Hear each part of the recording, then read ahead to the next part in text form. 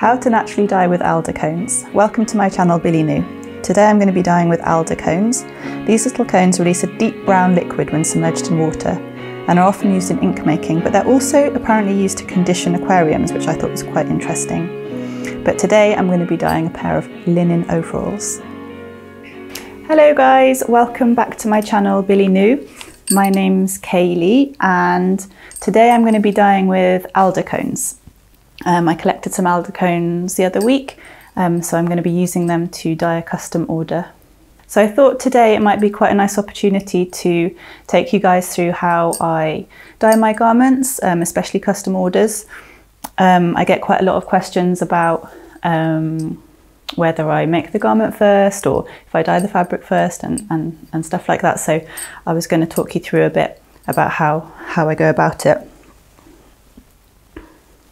So here are the overalls that I'm going to be dyeing today. They're a really special pair of overalls. They're made with a vintage linen fabric, which I absolutely love. They're also a custom pair. So I've got a really lovely customer who's let me, given me free reign to, to experiment with alder cones on her overalls. Um, the linen is just so gorgeous. It's got lots of hand lace details. So when they made the linen, back in the day, it would have all been done by hand, which is, for me, makes it extra special.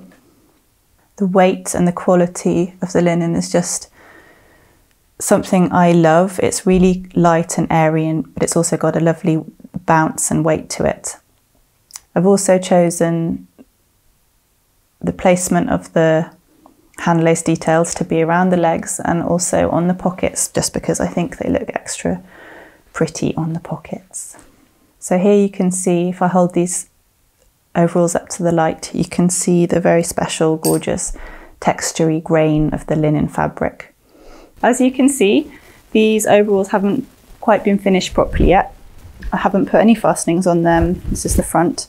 Um, I haven't tidied up the, the threads, but I have prepared them for being dyed. So I've given them a really, really thorough scour, which is what you do to clean your fibres before you dye them. And this is really important if you want to try and achieve a, an even colour over the whole garment or piece of fabric that you're dyeing. And I've also mordanted them as well. So they've been had a really good mordant, a really good scour. So they should be perfectly ready for dyeing. Um, the next step that I'm going to do is soak them for a couple of hours before I put them in the dye pot because that will also help with a with an even colour as well.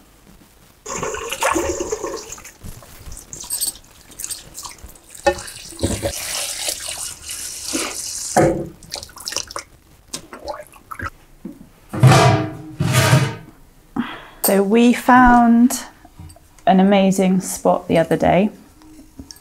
It was absolutely full of alder cones and we spent about 40 minutes I think collecting these ones. I feel like I've just got so much treasure.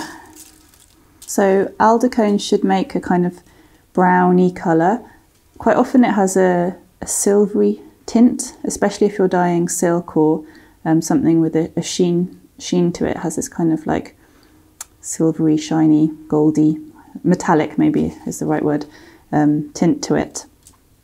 Um, but I'm hoping to get a nice brown, browny shade from these guys. As usual, I'm not really one for measuring and weighing, so I'm just gonna put a really nice big amount in.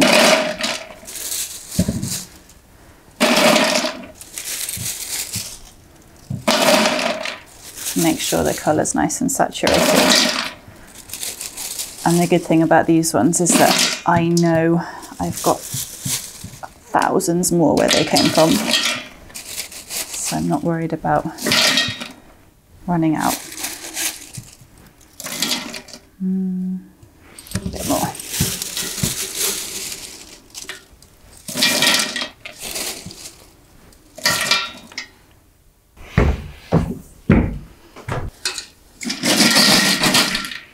Next step, I'm going to cover with water.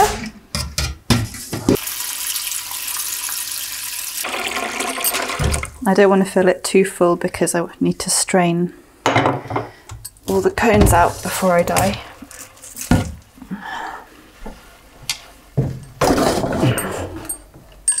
And the water is, that's cold water and there's already loads of colour. So, I'll leave them to simmer for a little while.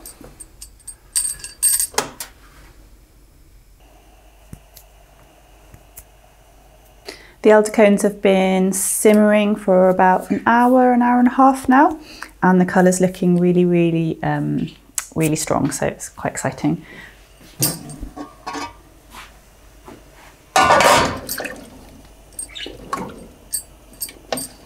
It's so dark.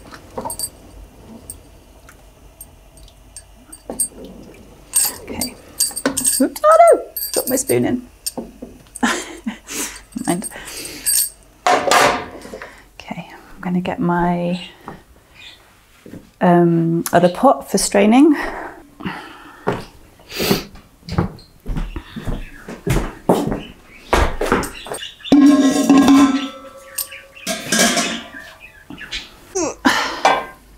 Okay, so I didn't fill this up too too much with water because I knew I was going to strain it, and I'm going to do that now. And it's ooh,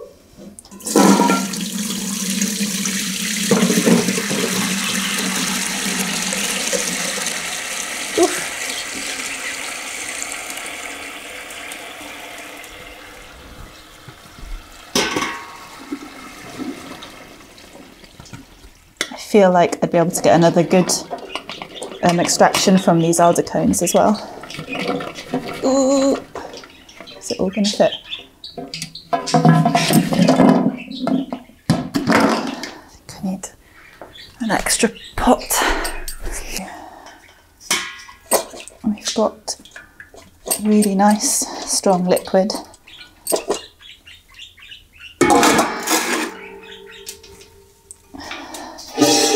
Still got a couple of bits in it, but they'll be okay. Going to wipe up that mess.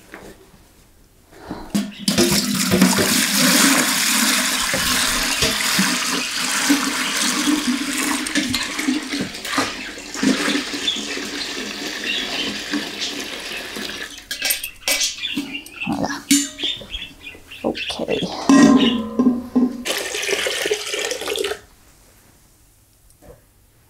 I'm just topping up with some extra water so that the when I put the fibre in it's got more more freedom to move around. It's still going to be the same amount of dye in there, it's just going to be more liquid. Right. So we've just stepped outside because it's nice and sunny out here and I've added some more water to my pot so there's lots of liquid in there for my fabric to move around. I've got my wet fibre here, my wet overalls. I've given them a squeeze. Uh, this water, the temperature of the water's cooled down a bit, so I can put my hands in there now because I'm really gonna give this a good squeeze once it gets in, just to make sure that I get all the dye into all the creases of the fibre. Look at that. Ooh. So I'm just to give it a squeeze. I like doing this because I feel like it really helps with an even colour and I do this when I'm mordant and yeah when I'm mordant as well but with gloves on if I'm mordanting. And also if the, if the liquid's too hot I put gloves on as well. So it's kind of gone yellow.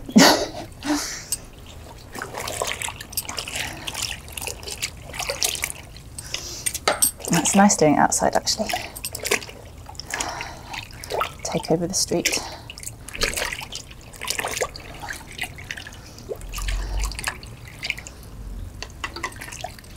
And I'll just keep stirring and squeezing and stirring for oops, I'm getting it on the wall.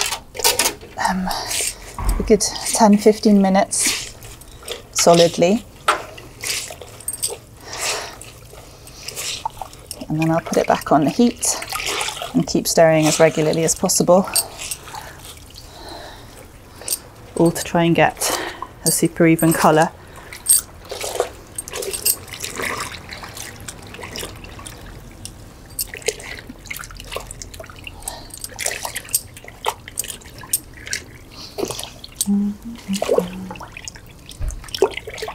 Looks a bit like coffee.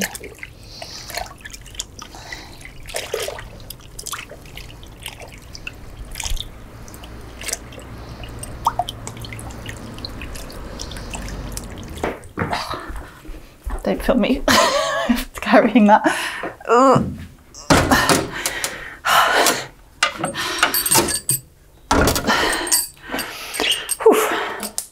Be careful of your backs, obviously.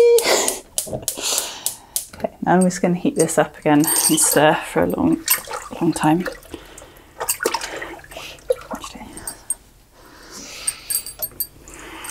It's been on for a couple of hours now, simmering gently, and the colour's looking quite nice. Um, kind of a kind of yellowy, beigey colour. I'm gonna Mm, am I to lift this up? I'm to try.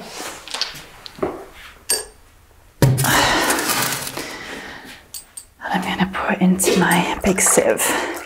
So I've noticed straight away that there are some patches on here.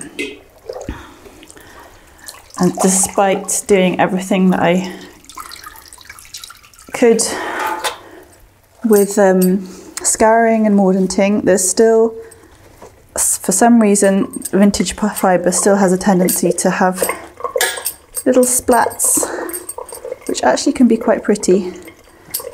You see? So this I think looks quite pretty.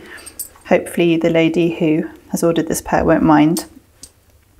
But yeah, sometimes it just seems to be that way. I'm not sure why. Maybe somebody used a product on on the, the sheet or I don't know, there's something's touched this fabric which has made it take the colour more than other places. I'm not really sure what it is to be honest, but it would be good to know. Just giving it a quick rinse.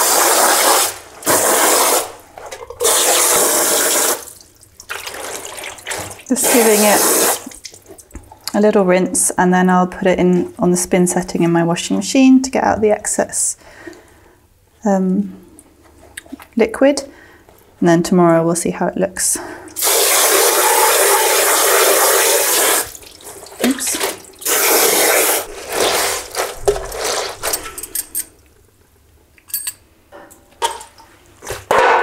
Like Ready to get uh, spun.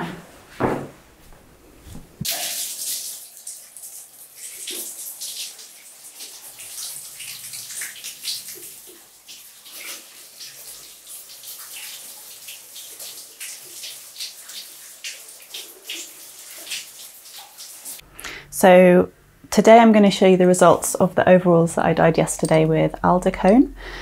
Aldacones, lots of them. Um, it's kind of an interesting result. It's a classic example of natural dyes showing you that they're alive and they've got their own character and personality. So I was really aiming for a, an, a uniform colour on these overalls because that's what my customer asked for. Um, and despite doing everything in my power, I still ended up with some marks on the overalls, which actually I'm really loving now. Yesterday, I thought that it might have been because I was using vintage fabric, um, because sometimes when you use vintage fabric, they could have touched something that you can't see, or I don't know, but sometimes marks come up on the vintage fabrics anyway, even when you've scoured them. But today I'm not so sure. I actually think it looks like the alder cones just had a party, like they just did what they wanted to do. Um, and I quite like it because if it's um, just one spot, sometimes it can just look a bit out of place, but they've kind of done it all over the overalls.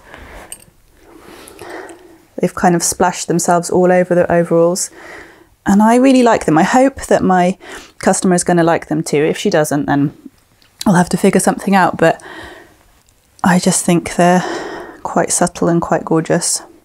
So also interestingly, the alder cone bath, dye bath, was so dark and so deep, but actually the final colour is quite, um, it's kind of buttery, kind of a bit lighter than I was expecting, but it's really You can imagine if this was on a silk, like I said before, it would be really shiny and gold-like. Thanks for watching guys. I hope you enjoyed this video and seeing the process of how I go about dyeing my custom overalls.